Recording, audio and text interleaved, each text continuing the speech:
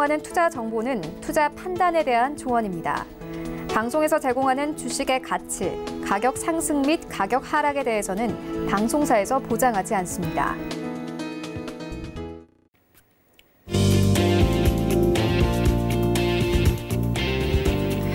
안녕하세요. 더 깊이 있는 증시 강의쇼 센 투자 자문 진행의 김성입니다. 센 투자 자문 평일 밤 11시에 함께하고 있는데요. 오늘도 1시간 동안 시청자 여러분들께 전해드릴 알찬 정보들 준비해 놓고 있으니까요. 오늘 이 시간 끝까지 저희와 함께 하시면서 부자 되는 비법 챙겨가시기 바랍니다. 오늘도 증시 마감 상황부터 전해드립니다. 어제 미증시는 강하게 상승 탄력 받았습니다. 트럼프 미국 대통령과 시진핑 중국 국가 주석의 전화 통화로 미중 무역 협상의 재개 가능성이 높아졌는데요. 여기에 마리오 드라기 ECB 총재의 경기 부양책 발언까지 더해지면서 증시 끌어올렸습니다. 또 FOMC 회의 진행 중이죠. 금리 인하에 대한 기대감 높아지면서 어제 뉴욕 3대 지수는 1% 안팎의 상승폭 기록했습니다. 자, 조금 전 출발한 오늘 뉴욕 증시는 보합권에서 움직이고 있습니다. 있습니다. 다우존스와 S&P 500은 현재 플러스권에서 움직임 나타내고 있고요. 나스닥 지수는 0.05% 약보합권에서 움직이고 있습니다. 자, 미중 양국 정상이 만난다는 소식에 우리 증시에도 오늘 훈풍이 불었습니다. 코스닥 지수는 1% 넘는 오름세 보였는데요. 2120선까지 올라오며 오늘 거래 마감했습니다. 미중 무역 협상에 대한 불확실성이 완화되면서 원달러 환율이 안정을 찾았고 이에 따라 낙폭이 컸던 대형주 중심으로 외국인 매수가 몰리면서 지수를 끌어올렸습니다. 코스닥 시장은 비교적 상승폭 크지 않았는데요. 외국인과 기관이 동반 매도 나타냈습니다. 0.4%가량 오르며 717포인트로 오늘 거래 마쳤습니다. 오랜만에 코스피 지수가 시원하게 올라줬는데요. 하지만 이것이 우리 증시의 확실한 성장 모멘텀에 의한 어, 상승은 아니었기 때문에 여전히 변수는 남아 있습니다. 오늘 이 시간 저희와 함께 하시면서 시장 대응 전략 챙겨가시기 바랍니다. 더센 어, 센 투자자문 언제든지 열려 있습니다. 저희와 한 시간 동안 함께 하시면서 추가적으로 궁금한 부분들 많이 생기실 텐데요. 전화번호 023153-2585번으로 전화 주시면 오전 9시부터 오후 6시까지 상담 받아 받아보실 수 있습니다. 투자 관련한 모든 상담 가능하니까요. 이쪽으로 전화하셔서 많은 도움들 받아보시고요. 방송 중에 상담 받고 싶으신 분들은요. 문자 번호 샵 4989번으로 문자 보내주시면 되는데요. 자, 방송 중에 저희가 상담해 드릴 텐데 그 전에 문자로 예약 먼저 해주셔야 된다는 점도 체크해 주시면 좋겠습니다. 자, 그리고 저희 강연회 소식도 전해드립니다. 이명석 박철순 자문위원의 강연회입니다. 2019년 하반기 증권 및 파생시장 전망이라는 주제로 진행되는데요. 6월 22일 토요일 오후 2시부터 4시까지, 6월 26일 수요일 저녁 7시부터 9시까지 두 차례 센투자자문 본사 강연장에서 진행됩니다. 선착순으로 12명 무료로 참석하실 수 있으니까요. 관심 있으신 분들은 서둘러서 신청해 주시기 바랍니다. 강연회 문의와 신청도 마찬가지로 전화번호 02-3153-2585번으로 신청해 주시면 되겠습니다. 네, 많은 분들 참석하셔서 알찬 투자 정보 많이들 얻어 가시기 바랍니다. 자, 오늘은 센 투자 자문 박철순의 실전 트레이딩 준비되어 있습니다. 이 시간 함께할 자문위원 소개해 드립니다. 대규모 자금 투자의 달인 철저한 리스크 관리의 박철순 자문위원입니다. 네, 박철순 자문위원 모시도록 하겠습니다. 위원님 안녕하세요. 네, 안녕하세요. 네. 자, 저희 잠시 후에 더 자세하게 이야기를 나누겠지만요. 오늘 장은 좀 어, 상승을 했어요. 오늘 장은 좀 어떻게 보셨나요? 네, 오늘 그래도 오랜만에 뭐 코스피 같은 경우는 좀 시원하게 어, 올라가는 모습을 보였는데요. 뭐 잠시 후에 좀 더 자세하게 설명드리겠지만 좀 아쉬운 부분들도 남아 있는 것 같습니다. 반등이 나왔다고 해서 추가적인 상승까지 기대하기에는 아직은 우려감들이 좀 많이 남아 있거든요. 잠시 후에 조금 더 자세하게 말씀드리면서 어, 내일장 그리고 앞으로도 어떻게 대응을 해야 될지에 대해서 설명을 좀 드리도록 하겠습니다. 네, 잠시 후에 박철순 자문위원과 오늘장 진단 그리고 내일, 내일장 대응 전략까지 함께 들어보도록 하겠습니다. 센투자 자문은 금융감독원과 방송통신심의위원회의 법규 그리고 자본시장통합법 엄격하게 준수하고 있습니다. 방송상 투자 관련한 상품의 권유 또는 일임을 위한 모객행위 엄격하게 금지하고 있음을 알려드립니다. 자, 오늘도 이 시각 글로벌 경제 이슈들 확인하고 가도록 하겠습니다. 전유진 캐스터입니다.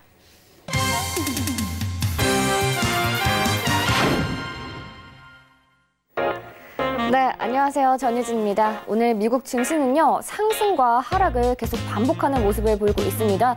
현재 강보합권 유지 중인데요. 한 달간 좀 랠리가 계속 됐었는데 그 랠리의 흐름이 끊기고 있는 모습을 보이고 있습니다. 자, 연준의 금리 결정을 기다리면서 이러한 모습을 보이고 있는데요. 현재 다우존스 지수 같은 경우는 한 36포인트 상승을 하고 있고요. S&P 500과 나스닥 역시 0.1%, 0.2% 상승을 하면서 강보합권 유지하고 있습니다. 이제 곧 연준의 결과 발표가 미국 시간 수요일 2시에 이제 발표가 되는데요. 이제 많은 투자자들은 이제 연준이 언제 금리를 인하할지 좀 힌트가 나올 수도 있다라고 얘기를 하고 있고요. 이제 중앙은행 같은 경우는 연준이 금리의 정책을 바꾸지 않을 것이다라고 예상을 하고 있습니다. 이제 많은 전문가들은 또 7월에 인하를 할 것이다라고 이야기를 하는데요. 과연 연준이 어떻게 결정을 할지 조금 더 지켜봐야 되겠습니다. 다음 소식은요. 이제 트럼프 대통령이 어제 트위터를 통해서 이제 G20에서 시진핑 주석과 만날 것이다라고 이야기를 했었죠. 이제 시진핑 주석과 이제 좋은 전화 통화를 했다라고 이야기를 하면서 G20 정상회담을 열 것이다라고 이야기를 했는데요. 이제 정상회담에 앞서서 양국의 협상팀이 먼저 대화를 시작을 할 것이다라고 이야기를 했습니다. 또 정상은 공정한 경제를 통해서 이제 미국과 농민, 어, 미국의 농민과 노동자 또 기업을 위해 이제 공정한 관계를 만들 것이다라고 이야기를 했는데요. 이제 대중 무역에 대한 구조적 장벽 문제에 대해서도 의미 있는 개혁을 할 것이다라고 이야기를 했습니다. 이제 시 주석 역시도 발언을 했는데요. 이제 중국 중앙 방송도 이날 또 시진, 시진핑 주석과 트럼프 대통령의 대화에 대해서 이야기를 했습니다. 트럼프 대통령과 오사카 G20 정상회담에서 만날 것이다라고 이야기를 하면서 중미 관계 발전에 대한 근본적인 문제에 대해서 대화를 할 것이다라고 이야기를 했습니다. 양측은 평등한 대화를 통해서 문제를 해결할 것이다라고 덧붙인 상황입니다. 다음 소식은요. 이제 트럼프 대통령이 이러한 질문을 받았습니다. 이제 연준의 제롬 파월 의장에 대해서 강등을 시킬 것이냐라고 질문을 받았는데요. 이제 그 대답에 대해서 그가 뭘 하는지 지켜보자라고 대답을 했습니다. 트럼프 대통령이 계속해서 파월 의장을 좀 공개적으로 비난을 하고 있는 상황이죠. 이제 연준이 중국이나 유럽의 중앙은행과는 달리 긴축 정책을 펴면서 달러가 강세를 보이면서 미국 경제에 피해를 주고 있다라고 이야기를 했습니다. 이런 발언은 좀 백악관이 파월 의장이 연준 이사 신분은 유지는 하지만 의장직에서 해임하는 일종의 강등을 어, 지금 고려를 하고 있다라고 보도가 나온 뒤에 나와서 더욱더 주목을 받고 있는데요. 트럼프 대통령이 계속해서 연준의 금리 인하를 요구를 하고 있는 상황이죠. 과연 FOMC에서 어떤 결정을 내릴지 지켜봐야 될 것 같습니다. 다음 소식은요. 어, 오늘은 좀 금 소식입니다. 뉴욕의 금 가격이 2019년 이후에 최고점을 찍었습니다. 연준이 금리 인하를 할 것이다라는 기대감으로 0.6% 상승을 했는데요. 연준이 금리를 인하를 하면 금 가격은 오를 수밖에 없죠.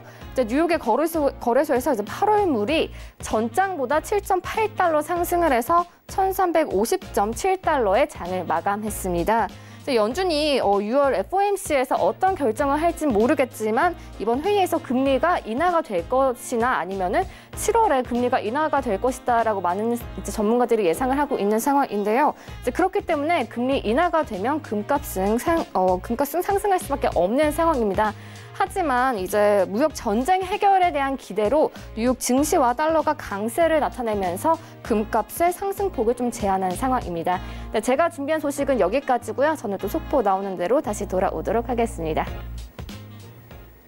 네, 이 시각 글로벌 경제 이슈들 확인하고 돌아왔습니다. 이어서 박철순 자문위원과 경기 분석 이어나가도록 하겠습니다. 자, 먼저 미 증시 이야기부터 해보도록 할 텐데요. 자, 트럼프 미국 대통령과 시진핑 중국 어, 국가 주석이 G20에서 만나기로 했다는 소식이 전해지면서 어제 미국 증시가 좀 크게 올랐습니다. 여기에다가 또 금리 인하에 대한 기대감도 더해졌는데 특히 S&P 500 같은 경우는 거의 사상 최고치에 근접을 했다고 합니다. 그런데 특히 그동안의 이 미중 무역 분쟁에 영향을 받던 IT주, 반도체주, 중국 관련주가 좀 급증하는 급등하는 모습을 보였 어, 보였고 또 필라델피아 반도체 지수도 4%가량 급등을 했습니다. 자, 그런데 위원님 지금까지 이런 주가들이 그동안의 미중 무역 분쟁의 영향을 많이 받았던 만큼 그만큼 또 다시 반등세도 좀 컸던 것 같은데 네네. 사실 아직까지 좀 확실한 건 없잖아요. 네. 그래서 앞으로 미, 어, 미 증시가 추가적으로 상승할 여력이 좀 있는지 어떻게 봐야 될까요?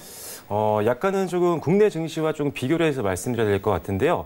어, 일단은 글로벌 악재들이 굉장히 많습니다. 계속적으로 뉴스에서 나오고 있는 미중 무역 분쟁에 대한 부분들 그리고 금리 인하가 아직 뭐 어, 진행이 되진 않았죠. 그래서 금리에 대한 금리 인하에 대한 기대감은 있지만 아직 발휘가 되지는 않았습니다. 자 그러다 보니까 지금 뉴스 하나, 이슈 하나에 계속 증시가 흔들리고 있죠. 자 일단 다행인 점은 미국 증시는 사실 국내 증시보다는 상대적으로 기초 체력이 좀 강한 편이기 때문에 상대적으로 상승에 대한 어, 가능성은 더 높다라고 일단은 말씀드릴 수 있을 것 같은데요. 자 일단은 그래도 최근에 주가가 좀 많이 올라왔습니다. 그리고 미중 무역 분쟁에 대한 어떤 해결에 대한 기대감 그리고 금리 인하로 인한 증시 상승에 대한 기대감은 어, 물론 있습니다. 만약 이런 것들이 결과가 긍정적으로 나온다면 증시에 당연히 좋은 영향을 줄 확률이 높겠죠.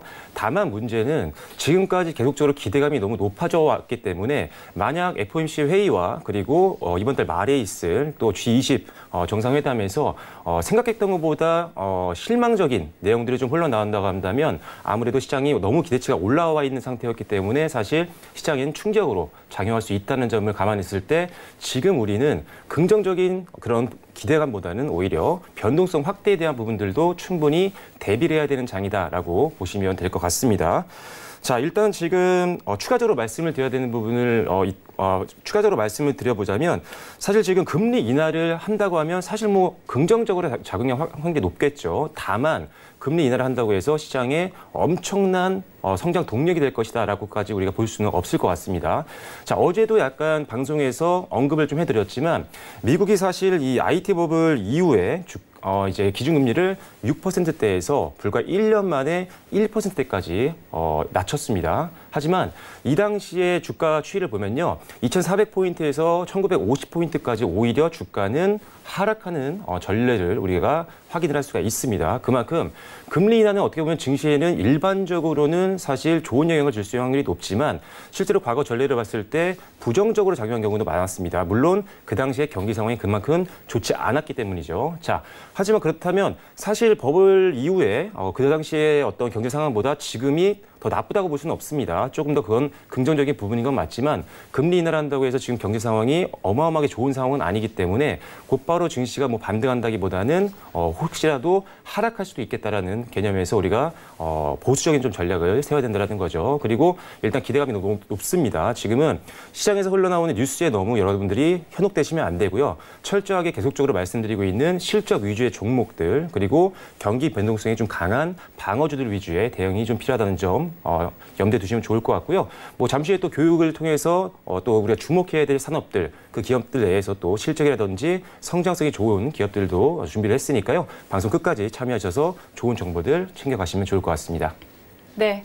자, 미 증시의 기초 체력이 우리 증시보다 좋기는 하지만 그래도 아직까지 FOMC 회의와 G20 어, 정상회담에 대한 결과가 나오지 않았기 때문에 만약 이 결과가 시장의 기대치에 못 미치게 된다면 그만큼 더 충격으로 작용을 할 것이다라고 이야기를 해주셨습니다. 자, 그리고 금리 인하가 증시에 무조건 어, 긍정적으로 작용을 하진 않기 때문에 우리는 변동성에 대비를 하고 조금 더 보수적인 전략을 가지고 가라는 의견을 제시해 주셨습니다. 자, 그럼 이어서 우리 시장 이야기도 한번 나눠보도록 하겠습니다. 자, 오늘 코스피 지수가 오랜만에 1% 넘는 상승폭을 기록을 했는데, 자, 코스닥은 상대적으로 조금 상승이 약하기는 했습니다만, 이 내용을 보면 어, 삼성전자와 SK하이닉스 등 그 시총 상위주의 외국인들의 수급 쏠림 현상이 좀 나타났고요. 또 어, 시진핑 중국 국가주석의 방북을 앞두고서 대북 관련주가 오늘 좀 강세를 보였는데요. 또 그리고 지금까지 근래 잘 가던 파이브주들이 약세를 나타내는 오늘 그런 장세 흐름이 나타났습니다.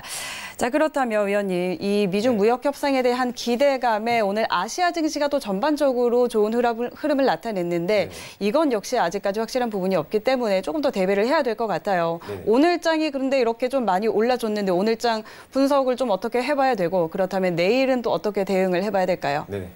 어, 자, 오늘 다행히도 증시가 좀 강하게 어, 물론 코스피가 더 많이 올랐죠. 코스피가 좀 상대적으로 강했고요. 코스닥은 상대적으로 어, 크게 오르지는 못했습니다. 하지만 최근 흐름을 봤을 때는 오늘이 상대적으로 어, 굉장히 좋은 흐름이었습니다. 그건 어, 사실이지만 일단 지금은 경계심을 뭐 늦출 수 있는 그런 상황은 아니다라고 다시 한번 언급을 해드리겠습니다. 자, 오늘 시장에서 올랐던 종목을 보면요. 사실 뭐 코스피 상위 종목들이나 코스닥 상위 종목들 대다수 빨간불을 켰던 경우가 많이 있었습니다. 다만 최근에 주가가 많이 빠졌던 종목들 위주로 좀 소급이 몰리는 어, 그런 현상을 좀 보여왔고요. 그렇기 때문에 지금 오늘장에 좀 크게 반등을 했다고 해서 지금 뒤늦게 종목을 어, 어, 변환해서 어, 매수를 하기에는 사실 조금 리스크가, 있을, 어, 리스크가 좀 있을 수 있다라고 보시면 될 것 같습니다. 그래서 결론적으로는 지금 증시가 아직은 주요 이슈들을 지나고 있는 상태고요. 또 월 말에 또 있을 G20도 마찬가지입니다. 계속적으로 어, 시장이 변동성을 줄 수 있는 요소들이 너무 많아도 많이 남아있고 아직 결론이 도출되지 않은 상황이기 때문에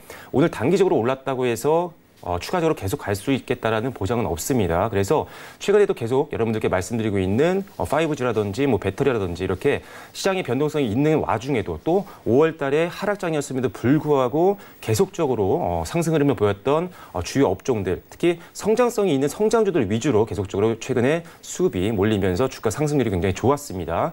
여전히 지금도 이런 산업들에 대한 관심이 계속적으로 필요한 상황이고요. 그리고 특히나 지금 5G 관련된 종목들이 어, 조금 빠 지기 시작했습니다. 제가 어제도 방송에서 언급을 드렸죠. 특히나 5G를 제가 최근에 계속적으로 말씀을 드렸지만 어제 방송에서는 제가 PT 자료에서 보여드리지 않았던 이유가 차익 매물이 흘러나오기 때문에 지금은 조금 피해도 되는 상황이기 때문에 말씀을 드렸고요. 오히려 이제 5G에서 나왔던 어, 이런 물량들이 어, 다시금 어, 매수를 할 수 있는 산업들이 어떤 것들이 있는지 계속적으로 여러분들께 소개를 해드리고 있으니까요. 잠시 있을 교육 자료 보시면서 어, 이제 수급이 좀 몰릴 만한 확률이 높은 산업들이 어떤 것들이 있는지 그 산업 내에서 어떤 종목들을 우리가 봐야 되는지까지 여러분들이 참고하셔서 앞으로 매매에 좀 활용을 하시면 어, 변동성이 좀 심해지더라도 크게 리스크 없이 어, 수익을 좀 낼 수 있는 전략이 될 수 있을 것 같습니다. 네.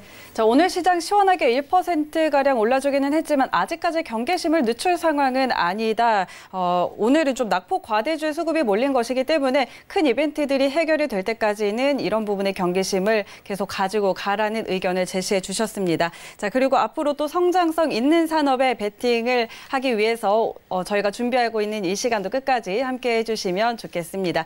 지금까지 박철순 자문위원과 국내외 경기 분석해봤습니다. 다음은 100만 불짜리 투자 노트로 이어갑니다.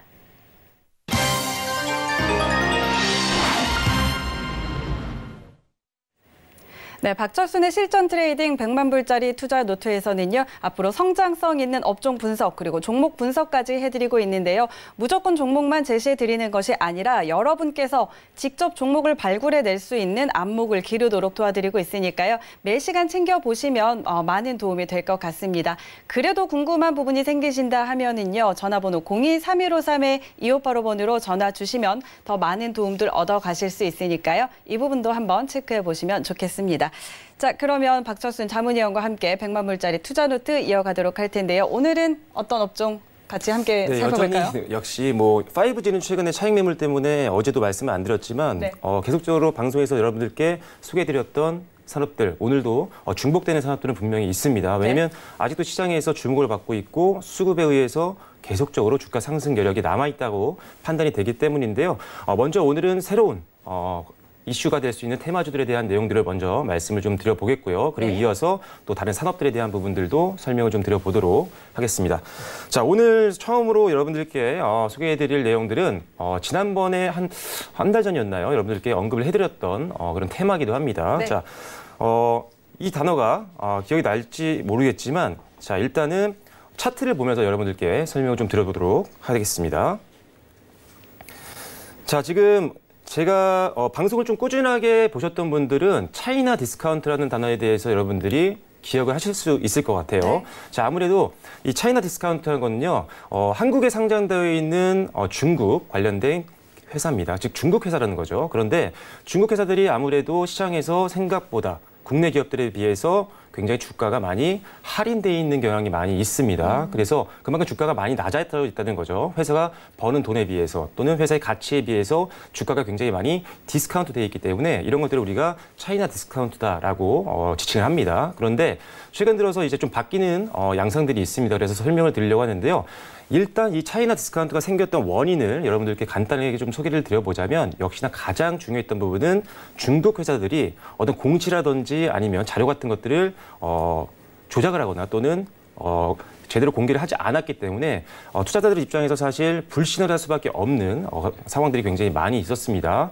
어, 실제로 처음 이제 중국 기업들이 국내 증시에 상장된 이후에요. 20개가 넘었던 종목들 중에 11개 이상이 상장 폐지가 됐습니다. 그러다 보니까 시장에서 당연히 불신을 가질 수밖에 없겠죠. 당연히 주식을 매수하기가 상당히 두려울 수밖에 없는 게 바로 중국 주식이었고요. 그러다 보니까 아무래도 시장에서 굉장히 소외가 되면서 주가가 굉장히 할인되어 있는 경향이 굉장히 많았습니다. 자, 그런데 이제 서서히 이제 중국 관련된 기업들 주목을 좀 해볼 만한 상황이 된 것 같습니다. 특히나 오늘 지금 어, 주가를 보면서 말씀을 드릴 텐데요. 자, 대표적인 이제 중국 관련된 기업이죠. 뭐 홍성그룹이라든지 또는 로스웰 같은 기업들 그리고 크리스탈 신소재 같은 경우도 오늘 어, 10% 가까운 상승률을 보이면서 어, 최근에 좀 지지부진했지만 굉장히 좋은 흐름을 오늘 보여줬습니다. 아무래도 지금 어, 미중 어, 무역 분쟁에 대한 어떤 해결책에 대한 기대감이 좀 올라가면서 그런 것들도 어, 중국 관련주에 대해서 기대감 좀 갖게 만들었던 것 같고요. 어, 거기다 이제 아무래도 굉장히 저평가되어 있는 경우가 많습니다. 자, 확대를 해서 한번 보여드릴게요. 자, 지금 중국 관련된 기업들 어, 보시면 아시겠지만 상당히 많이 할인이 되어 있습니다. 자, 지금 홍성그룹을 비롯해서 지금 로스웰, 크리스탈 신소재, SNC엔진그룹, 그리고 글로벌 SM, 골든 센츄리, GRT 이 모든 종목을 보시면요. 자, PBR이 이 라인에 있습니다. 자, 어, 상위부터 한번 볼게요. 0.13배, 0.12배. 전 종목이 1배 미만입니다. 우리가 보통 물론 아주 기본적인 거기긴 하지만 사실 뭐 PBR이 1배보다 미만이라고 하면 사실 자본 가치 대비해서 즉 청산 가치 대비해서 우리가 저평가되어 있다고 많이들 얘기를 하죠. 물론 어 그것만 보면 안 되겠지만 일단 기본적으로는 많은 분들이 그렇게 알고 계실 겁니다. 그런데 지금 어 중국 관련된 기업들은 사실 지금 PBR 1배 미만이 채 되지 않는 기업들이 100%입니다, 거의. 그만큼 시장에서 소외받으면서 주가가 많이 다운됐기 때문에 굉장히 저평가돼 있다는 거죠. 자, 그런데 이 기업들 중에 돈을 벌지 않는 기업도 있겠지만 돈을 버는 기업들도 있습니다. 자, 돈을 벌고 있는데 주가는 굉장히 낮게 형성돼 있습니다. 그러면 당연히 수급만 좀 받쳐준다고 한다면 충분히 주가는 급등까지도 갈 수 있다는 거죠. 그래서 물론 급등을 바라고 들어가는 건 아닙니다. 하지만 이제 서서히 미중 관계가 좀 개선이 되고 그리고 중국 기업들이 조금 더 이제 시장에서 어, 정보들을 좀 공개를 하면서 주주와 좀 친화적인 정책을 좀 내세운다라고 한다면 충분히 시장에서 이제 수혜받지 않고 수급이 좀 받아주면서 주가도 충분히 올라갈 수 있는 이제 토대가 좀 더 만들어지고 있다는 부분이죠. 자, 실제로 지금 중국 기업들 우리나라에 상장되어 있는 중국 어, 기업의 뭐 대표라든지 또는 어, 주식을 관리하는 어, 그런 위치에 있는 어, 직원들이 상당히 지금 주주 친화적인 정책들을 많이 펼치고 있는 상황입니다. 어, 지금 어, 계속적으로 중국이 한국에 지사를 만들어서 어, 주, 한국에 있는 기관들이라든지 또는 주주들과 소통을 하기 위해서 계속적으로 어, 지금 행동을 취하고 있는 상태고요. 거기다가 지금 어, 중국 기업이 실제로 한국에 있는 주주들을 초청을 해서 실제로 회사도 좀 보여주고요. 그리고 공장이라든지 실제로 제품을 만들어 만들어내고 있는 과정까지 보여주면서 굉장히 어, 실제적으로 자기네 사업들을 홍보하기 위해서 굉장히 노력을 하고 있습니다. 즉 IR 활동을 굉장히 적극적으로 추진하기 시작했다는 부분이죠. 어, 실제로 이 중국 기업이 자기네 나라로까지 주주들을 어, 초청을 해서 공장을 보여주고 회사를 보여줬던 케이스는 거의 없었는데요. 최근 들어서 이렇게 많은 행동들을 하고 있는 걸 봤을 때 그만큼 중국도 이제 한국 시장에서 어, 굉장히 노력을 좀 하고 있다는 것들을 우리가 이런 상황 봐도 좀 알 수 있다는 부분입니다. 특히나 이렇게 중국까지 직접 주주들이 가게 되면요. 가장 확실합니다. 왜? 눈으로 보고 어, 이 회사가 어떤 회사인지 직접 확인을 할 수가 있기 때문에 신뢰감을 더 많이 쌓을 수가 있다는 부분이죠. 그래서 이런 행동들이 하나하나 쌓여가면서 중국 기업들 앞으로 국내 시장에서는 조금씩 주목받을 확률이 높기 때문에 앞으로 여러분들이 어, 차이나 관련된 종목들 지금까지 보지 않으셨던 분들도 이제는 조금씩 관심이 가질 필요가 있다라고 어, 생각을 하시면 될 것 같습니다. 자, 일단은 하지만 아주 안심할 수 있는 건 아닙니다. 이 중에 좀 저가에서 움직이고 있겠죠. 대부분의 종목들이. 하지만 여기서 실적을 꼭 확인을 하셔야 됩니다. 자, 실적을 확인하지 않고 만약 어, 매수를 하신다면 상당히 위험할 수가 있죠. 아무래도 앞으로 관심은 가져야 하지만 아직은 시장에서 크게 어, 반등이 나오진 않고 있습니다. 오늘은 사실 다 올랐죠. 하지만 이제 추세를 더 봐야 됩니다. 어, 지금은 변동성이 커질 수 있는 장이기 때문에 어떤 산업이건 어떤 종목이건 하루 반등 나왔다고 해서 뛰어드는 것은 상당히 위험할 수가 있습니다. 그래서 조금 더 추세 지켜보시고요. 상승 추세가 좀 이어지면 안정적으로 어, 베팅하실 준비를 하시는 게 더 좋겠다라고 보시면 될 것 같습니다. 자, 그래서 일단 두 종목. 사실 뭐 차이나 그레이트 같은 경우는 굉장히 좀 유명한 종목이기도 하죠. 자, 차이나 그레이트는 하지만 지금 어, 지난 어, 두 달 전이었죠. 굉장히 급등한 이후에 조정을 받고 바로 거래 정지로 왔습니다. 물론 역시나 회사가 공시라든지 여러 가지 부분에서 잘못 좀 했기 때문에 거래 정지가 된 상태고요. 자, 이스트아시아홀딩스도 마찬가지입니다. 지금 거래 정지가 돼 있는 상태인데요. 어, 일단은 이런 회사보다는 밑에 있는 그룹들이 훨씬 더 낫습니다. 일단은 헝션그룹이나 로셀 같은 경우는 조금 더 주주 친화적인 정책을 좀 많이 피고 있는 것으로 지금 어, 판단이 되고 있는 상태고요. 그 이외의 기업들도 상당히 어, 나쁘지 않은 것으로 보입니다. 일단 실적만 적재가 아닌 기업이라면 우리가 계속적으로 관심 종목에 넣고 보실 필요가 있겠다는 거죠. 그래서 어, 앞으로 계속적으로 여러 가지 글로벌 이슈들이 어, 시장에서 발표가 될 텐데 중국과 미국에 대한 어, 문제가 계속적으로 해결된다라고 한다면 역시나 중국 관련주들은 최근에 소외를 받았지만 다시 한번 집중받으면서 주가도 한번 기대를 해볼 수 있을 것 같다라는 관점에서 여러분들께 오늘 소개를 해드리는 거고요. 그래서 관심 종목에 지금 보여드리는 종목들 어, 잠시 넣어 놓으셨다가 어, 추세 좀 더 추세가 확실하게 상수세로 전환한 이후에 좀 매수도 적은 비중부터 분할 매수 관점에서 접근하시는 것도 나쁘지 않겠다라는 점 참고를 해주시면 좋을 것 같습니다. 자, 그래서 오늘 첫 번째로는요, 그동안 아무도 관심 갖지 않았던 너무나 위험하기 때문에 어, 좀 보수적인 전략을 취하시는 분들이 거의 어, 거들떠보지도 않았던 어, 차이나 디스카운트 관련된 종목들을 한번 소개를 해드려 봤고요. 다음은 이어서 다른 산업들도 한번 말씀을 좀 드려보도록 하겠습니다. 자, 오늘 소개드릴 어, 산업, 두 번째 산업은요, 어, 어제 바로 방송에서 여러분들께 소개를 해드렸던 산업입니다. 네. 자, LBS 관련된 어, 종목인데요. 자, LBS 어제도 소개를 드렸기 때문에 방송을 보신 분들은 이미 어, 많이들 이제 어떤 어, 산업인지 어, 인지를 하고 계실 것 같습니다. 자, LBS는 그냥 해석을 하게 되면요. 위치 기반 서비스라고 생각을 하시면 될 것 같습니다. 우리가 뭐 이동통신이나 또는 GPS와 같은 이런 위치 관련된 기계에서 나오는 정보를 가지고 우리가 서비스를 소비자들한테 제공을 해주는 그런 산업이다라고 보시면 될 것 같은데요. 자, 일단은 어, 위치 정보를 바탕으로 해서 굉장히 많은 서비스를 제공을 하고 있습니다. LBS 산업에서요. 그래서 뭐 교통 정보라든지 날씨 정보라든지 뭐 경보 통지라든지 또는 생활 정보 같은 이런 것들을 계속적으로 어, 여러분들께 어, 시청자 여러분들이라든지 여러 사람들에게 계속적으로 정보를 주고 있다. 라고 보시면 될 것 같은데요. 그만큼 이제 생활 밀착형 산업이다라고 보시면 될 것 같습니다. 자, 그리고요. 일단은 디지털화 대표 6대 기술이라고 말씀을 드려봤는데요. 한번 종목을 다시 한번 넘어가서 보시면서 한번 설명을 좀 드려보도록 하겠습니다. 자, 일단은 지금 어, LBS 관련된 종목들 어제 바로 소개를 했던 종목들입니다. 오늘 뭐 시장에서 어, 노건 CNI는 조금 아쉬운 모습을 보였지만요. 나머지 뭐 한양 디지텍이나 팅크웨이 그리고 IOK 같은 경우는 사실상 고점을 뭐 돌파하는 종목들도 있었습니다. 오늘 아무래도 시장에서 최근에 주목받았던 5G나 또는 배터리 관련된 종목이나 제가 어제 그리고 지금 소개해드리고 있는 LBS 관련된 종목들이 최근에 상승세가 굉장히 좋았지만 오늘 시장이 좀 강하게 반응 나오면서 저평가된 종목들 주가가 좀 낮은 종목들 쪽으로 수급이 잠시 단기적으로 몰리면서 차익 매물이 좀 흘러나왔기 때문에 주가가 조금 어, 고점에서 조정받는 모습을 좀 보였지만요. 여전히 아직도 사업성이라든지 앞으로 어, 산업의 성장성 부분에서는 우리가 기대해 볼 만한 부분들이 너무나 많기 때문에 여러분들께 계속적으로 설명을 드리고 있는 겁니다. 자, 거기다가 이제 LBS 산업들 앞으로도 역시나 기대되는 부분들이 상당히 많은데요.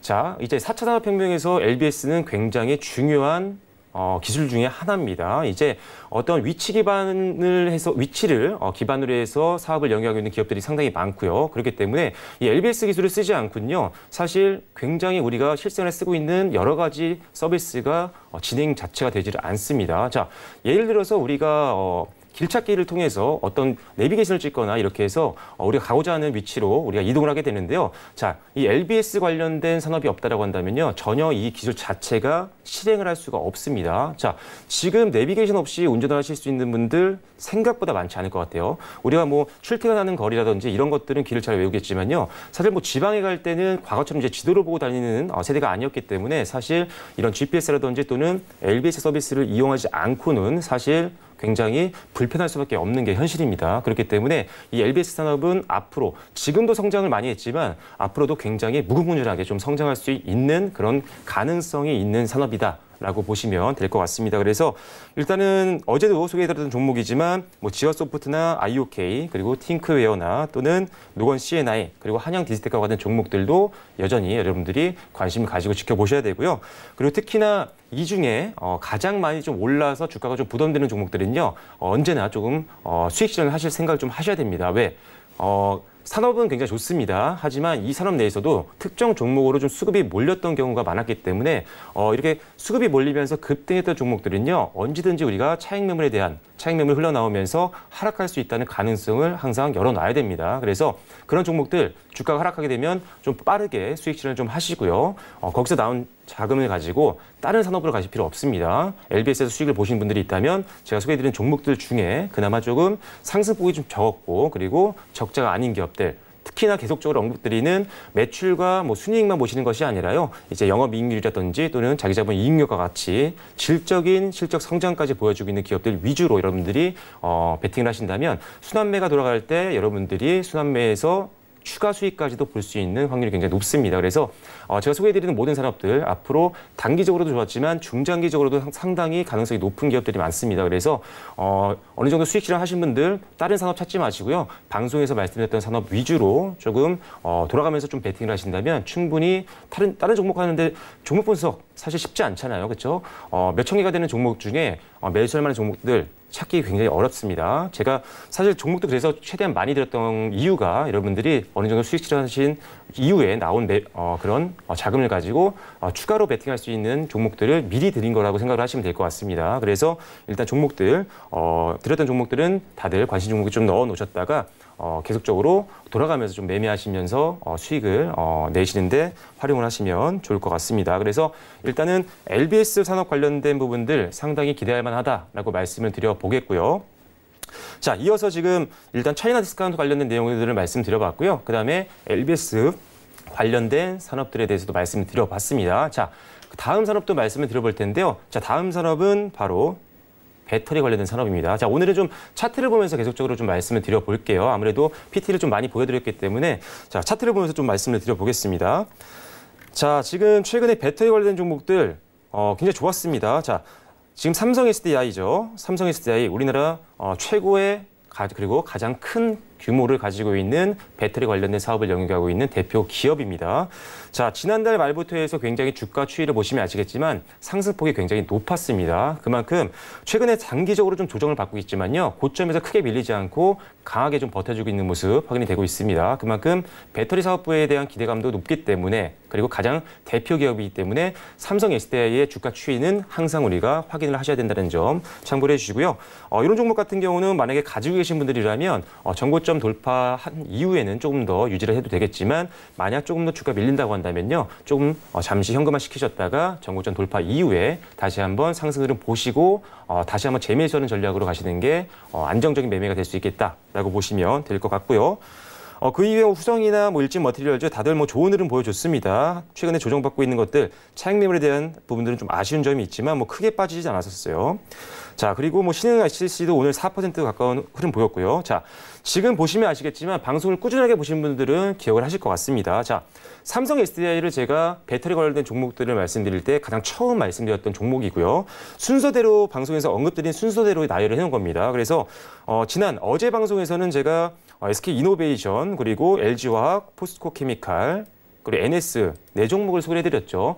자 최근에 소개해드린 종목들은요, 그만큼 이제 순환매가 나왔을 때 관심이 몰릴 수 있는 종목들, 그리고 저평가되어 있지만 실적은 굉장히 무난한 종목들 위주로 소개를 해드리는 겁니다. 그래서 어제 소개해드린 종목 네 종목 모두 다 뭐 크게 오르진 못해서 좀 아쉽긴 하지만 그래도 어 그래도 오늘 어, 소폭이지만 강보권에서 흐름 어, 1% 가까운 상승폭 보이면서 마무리가 됐습니다. 앞으로도 좀 기대할 만한 부분이 많은 산업들이 배터리 산업인데요. 자, 추가적으로 배터리 산업 우리가 기대를 해야, 해야 되는 부분들이 있습니다. 몇 가지만 좀 언급을 해드려 볼게요. 자, 일단은 배터리 산업을 우리가 볼 때요.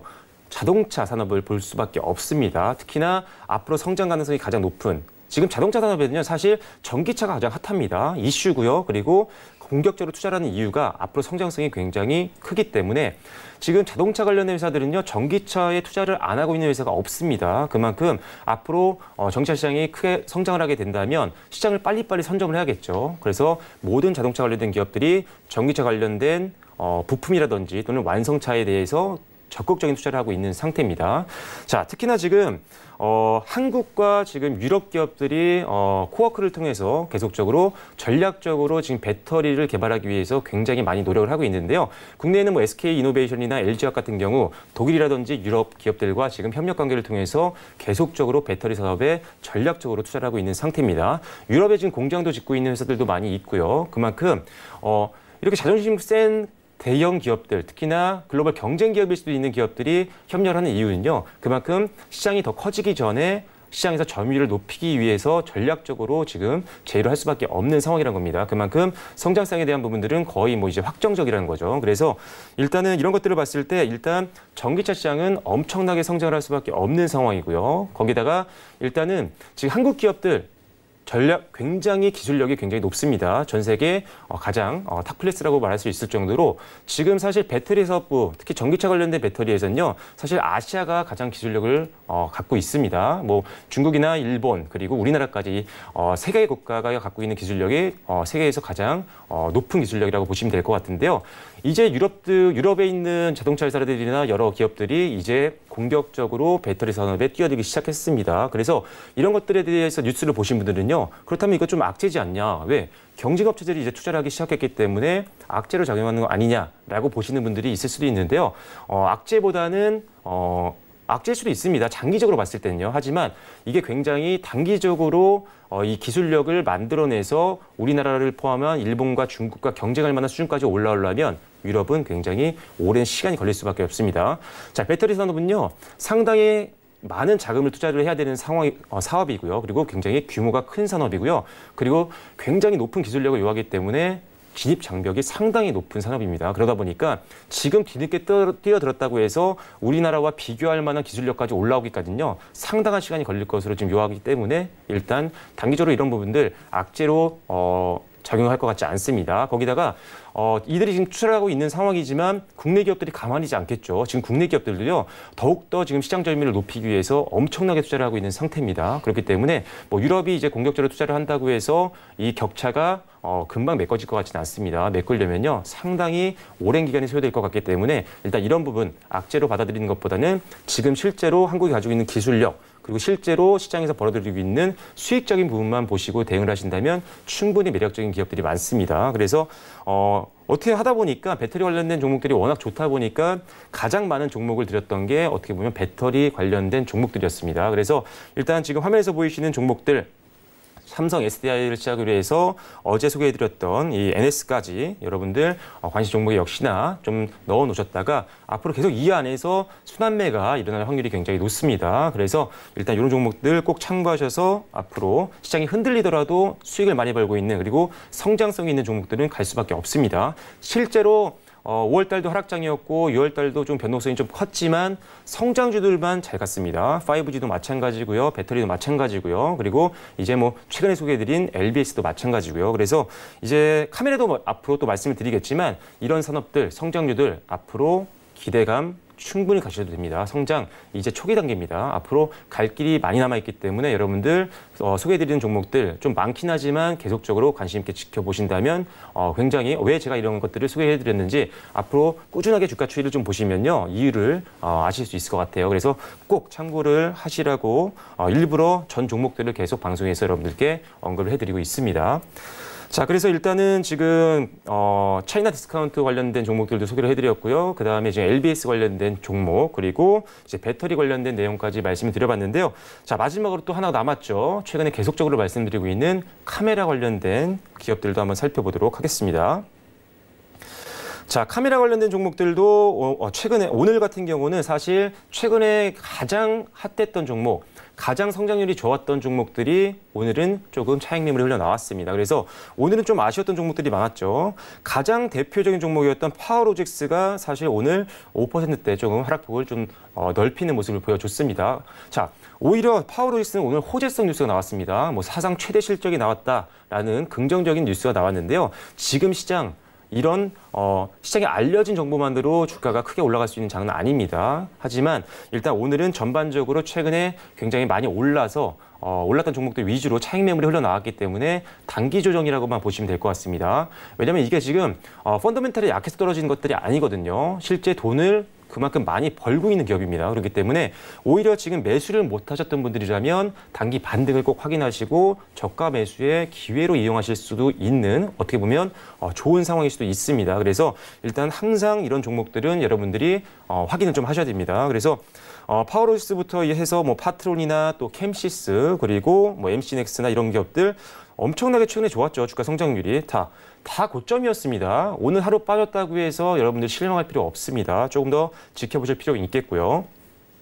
자, 그 이후에 또 에트로라든지 또는 해성옵티스는 사실 더 잘 갔습니다. 어제 같은 경우도 사실 급등을 했었죠. 어제 16.94% 정도 급등을 좀 해줬었는데요. 오늘도 1.6% 정도, 6%대 급등을 좀 해주, 아, 어느 정도 반등 흐름을 좀 이어나가면서 또 한번 고점을 경신하는 모습을 보였습니다. 자, 실적 좋은 기업들 변동성이 커지고 차익 매물이 나와도 충분히 더 이렇게 뚫고 올라갈 수 있는 힘이 있고 여력이 있는 기업들만 여러분들께 소개를 해드리는 겁니다. 그래서 어, 물론 시장에서 소 수급이 빠지고 소외를 받는다면 사실 소개해드린 종목 내에서도 소외받는 종목들이 있을 수 있어요. 그래서 이 종목들 내에서 올라가는 종목들 위주로 우리가 갈아타자는 거죠. 그래서 이런 종목들을 좀 많이 여러분께 드린 거고요. 자, 오늘 그리고 대표적인 또 대형주 중에 하나죠. LG 이노텍 같은 경우 상당히 오늘 잘 가는 모습 보였습니다. 최근에 어, 지난달 말까지는 사실 큰 조정이 좀 있었기 때문에 조금 아쉬운 상황이었죠. 하지만 이번 달 말부터 제가 어, 방송에서 언급드린 이후에 반등이 나오기 시작을 했습니다. 그래서 지금 뭐 꾸준하게 반등 흐름 어, 이어지면서 오늘 같은 경우는 오히려 어, 기울기를 더 높였습니다. 오늘 4.98% 거의 5% 가까운 어, 상승률을 보이면서 시장 대비 강한 모습 보였는데요. 자, 여기서도 우리가 배울 점이 있습니다. 자, 오늘 급등했던 종목들에서 차익, 차익 매물이 좀 나왔었고요. 그리고 상대적으로 떨어졌던 종목들, 뭐 SK 하이닉스와 같은 이런 대형주들 잠시 수급이 좀 넘어가는 모습을 보였는데요. 자, LG네트도 사실 가장 어, 이런 카메라 관련된 종목들 중에는 대형주긴 하지만 시장에서 좀 소외를 좀 받았습니다. 왜냐? 다른 사업도 굉장히 많이 영위를 하고 있는 기업이기 때문이죠. 하지만 이제 카메라 산업이 워낙 많이 성장할 수 있는 가능성이 있기 때문에 이제 LG 노텍 좀 저평가를 받았기 때문에 조금씩 이제 시장에서 관심을 받기 시작한 것 같습니다. 그래서 LG 노텍 오늘 좋은 흐름 좀 보이면서 마무리가 좀 됐고요. 자, 다음 종목 IM도 한번 볼게요. IM도 굉장히 좋았습니다. 오늘은 사실 뭐 어, 오르지도 않고 내리지도 않았죠. 보합권에서 마무리가 됐는데요. 일단은 역시나 이번 달 들어서 상승률이 상당히 좋았습니다. 뭐 1250원대에서 시작해서 지금 1400원대까지 굉장히 좋은 흐름 좀 보여줬었는데요. 역시나 아직도 기대해 볼 만한 종목이고요. 말씀드렸죠. 가장 하단에 있는 종목일수록 최근에 설명드린 종목들입니다. 자, 어, 세코닉스와 자화전자는 사실 어제 여러분들께 소개해드린 종목이죠. 자, 세코닉스와 뭐 자화전자 좀 상반된 흐름을 좀 보여줬는데요. 자, 세코닉스는 지금 전일 대비해서 1.38% 정도 상승하면서 그래도 계속적으로 좋은 흐름 이어나가고 있는 모습 보여주고 있습니다. 자, 그리고 자화전자도 한번 볼게요. 자화전자는 오히려 좀 저평가되어 있는 상황이었습니다. 왜? 어, 세코닉스는 최근에 반등 흐름이 꾸준하게 이어지면서 계속적으로 가격을 높여왔지만 지금 세코닉스 같은, 아, 자화전자 같은 경우는 사실 어, 이번 달에 조금 상, 가파르게 상승한 이후에 좀 조정을 받았기 때문에 오히려 어, 저가 매수의 기회로 좀 이용할 수 있는 종목이기 때문에 여러분들께 소개를 해드렸던 거고요. 자, 그러면 우리가 재무제표까지 한번 살펴볼게요. 자, 세코닉스를 먼저 좀 살펴보도록 하겠습니다. 자, 세코닉스의 지금 어, 최근 어, 재무제표를 좀 살펴보면요. 어, 상당히 좋습니다. 자, 어제도 여러분들께 소개를 좀 해드렸던 것 같은데, 자, 지금 사실 작년 4분기에는 영업이익이 마이너스 36억 원대 적자를 좀 기록했었고요. 그리고 단기 순이익도 47억 원대 적자였습니다. 하지만 올해 1분기에는 영업이익과 단기 순이익이 흑자 전환을 했습니다. 그만큼 자 적자에서 흑자 전환한 기업들은요 상당히 시장에서 주목을 받을 확률이 높습니다. 왜? 돈을 못 벌던 회사가요 돈을 벌기 시작하면 그만큼 기대감이 높아질 수밖에 없겠죠. 하지만 어, 한 분. 단한 분기만 보면 안 되겠죠. 자, 지금 가이던스를 보면요. 사실 영업이익이 지금 55억 원대로 어, 흑자가 계속 유지되고요. 거기다가 영업이익이 무려 다섯 배 정도 증가할 것이다라는 기대감이 좀 있는 상황입니다. 그렇기 때문에 아무래도 지금 어, 실적이 이렇게 급등을 하게 되면요. 주가는 다시 제 가치를 찾아서 올라가겠죠. 그래서 물론 가이던스기 때문에 이거보다 좀 적게 나올 수도 있습니다. 하지만 분명히 어, 지난 분기보다는 이번 분기가 굉장히 좋을 것 같고요. 특히나 사실 지금 2분기 실적에 대한 기대감이 그렇게 높아져 있는 상황이 아닙니다. 전체적인 어, 우리나라 증시에 속해 있는 전 종목들이요. 하지만 어, 이런 종목들은 실적이 좋고요. 방송에서 소개드린 종목들 대부분 어, 호실적을 기록하고 있는 기업들입니다. 그래서 지금은 어, 시장 글로벌 이슈에 따라서 증시가 좀 흔들릴 수 있는 상황이긴 하지만 이렇게 실적에 받쳐주는 종목들로 어, 전체적인 포트폴리오를 구성하시면요. 시장의 변동성과 무관하게 안정적인 수익을 창출할 수가 있다는 부분이죠. 그래서 지금은요 시장 전반적으로 악재가 굉장히 많이 남아 있습니다. 이 시기가 끝나고 어느 정도 긍정적으로 마무리되기 전까지는요 언제 시장이 오르고 내릴지 모릅니다. 그래서 시장을 볼 때가 아닙니다. 지금은 종목을 볼 때입니다. 그래서 여러분들께 계속적으로 방송에서 언급드리는 종목들 참고하셔서요 계속 어, 돌아가면서 매매를 하시면서 어, 수익을 변동성장에서도 안정적으로 좀 내실 수 있으면 좋을 것 같습니다. 무엇보다 종목별 대응이 필요하고요. 그리고 무엇보다 실적, 특히나 양적으로나 질적으로 성장하고 있는 실적주들 위주로 대응을 하셔야 된다는 점 다시 한번 여러분들께 말씀을 드리도록 하겠습니다. 네, 자 오늘도 이렇게 LBS 관련주, 배터리 관련주 그리고 카메라 관련주에 대해서 이야기를 해주셨는데요. 여기 추가적으로 China discount에 대해서도 언급을 좀 해주셨습니다. 자 간략하게 한번 정리를 해보면은요, LBS 같은 경우는 생활 밀착형 산업이기 때문에 앞으로 성장 가능성을 충분히 어, 볼 수 있다는 점, 이 부분에 주목을 해보시면 좋을 것 같고요. 또 종목 어, 이 업종 내에서 수남에 나올 수 있기 때문에 활용해 보시면 좋을 것 같습니다. 또 배터리 관련주에 대해서도 전기차 어, 성장과 관련해서 또 우리나라 기업들의 업체들의 이 기술력, 경쟁력이 충분히 있기 때문에 이 부분도 함께 가져가시면 좋을 것 같습니다. 자, 저희는 그러면 다시 한번 이 시각 글로벌 경제 이슈들 확인하고 돌아오도록 하겠습니다.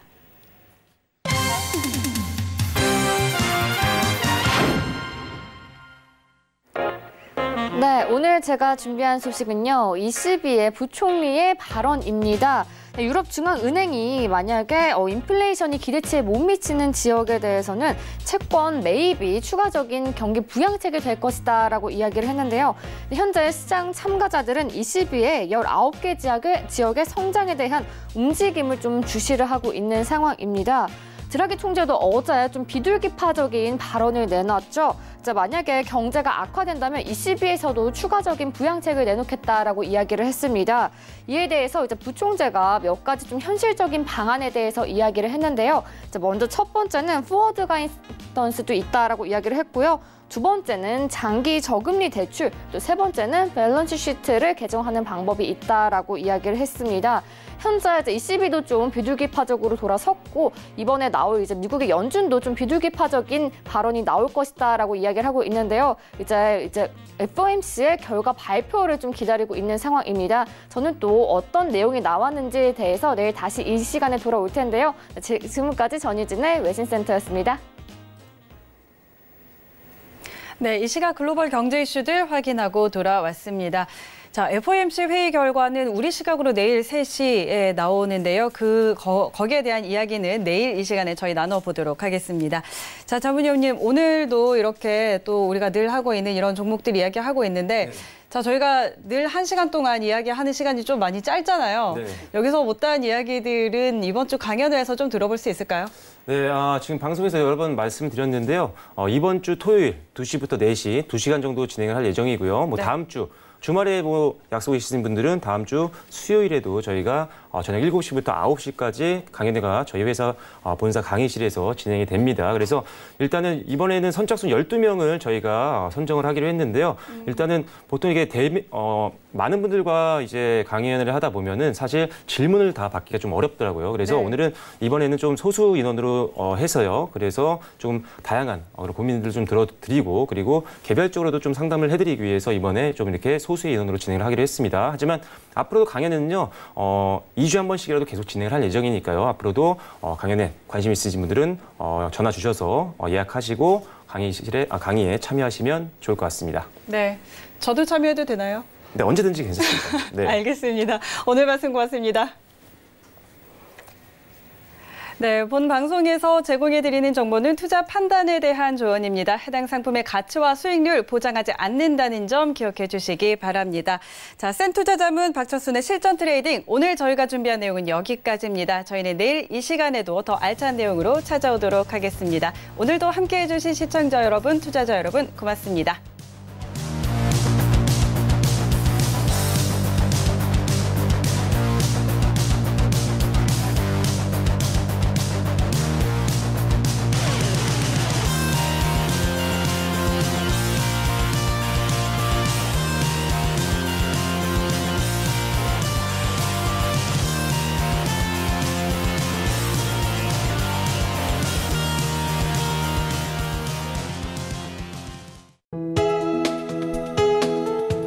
방송에서 제공하는 투자 정보는 투자 판단에 대한 조언입니다. 방송에서 제공하는 주식의 가치, 가격 상승 및 가격 하락에 대해서는 방송사에서 보장하지 않습니다.